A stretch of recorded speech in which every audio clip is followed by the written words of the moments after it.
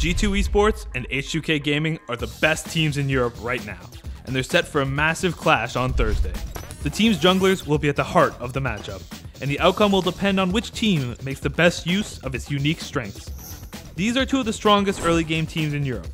Both G2 and H2K are used to building up gold leads in the first 15 minutes, and they're both doing a fantastic job of controlling early objectives like dragons and towers. Each team has its own set of priorities.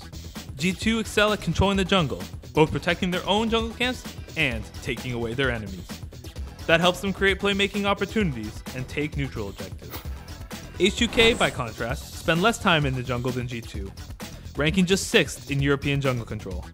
Instead, H2K prefer to play more conservatively by controlling the lanes and covering themselves with lots of vision, though they sometimes tend towards quantity over quality with their wards. The fog of war will be a crucial battleground. H2K always try to keep their information flow high, while G2 aim to clear out enemy wards and create blind spots. The junglers will play a huge role in deciding this series. Jankos is a central figure for H2K. He leads the league in kill participation, places a lot of wards, and is responsible for helping his laners build up individual leads.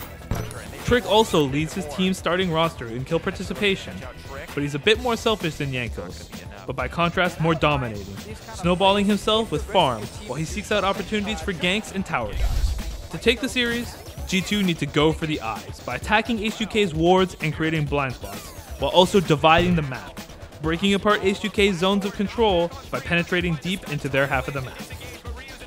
On the other hand, H2K should make sure they own the river, protecting themselves from invasions, ganks, and tower dives while keeping tabs on Trick, while also applying cross-map pressure, using their knowledge of enemy movements to respond to any G2 aggression by capturing objectives somewhere else.